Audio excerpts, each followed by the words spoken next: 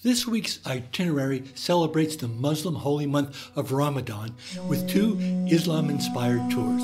The first tour, Hajj Journey Through the Ages, offers a tour of a collaborative exhibition at the Islamic Arts Museum in Kuala Lumpur, Malaysia, by Saudi artist Reem Nazir and her architect husband Tariq Al Reza.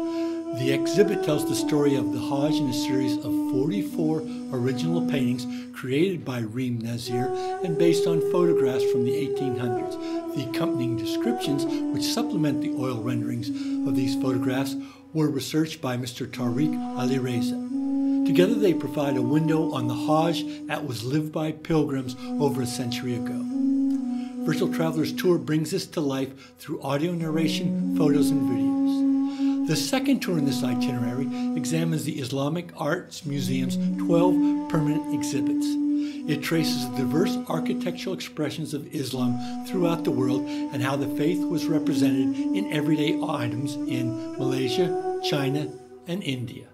Artifacts of Islamic culture, including jewelry, textiles, woodworking, arms and armory, coin minting, metalworking, and ceramics, are covered. Together, they offer a comprehensive look at Islam and its influence on human history.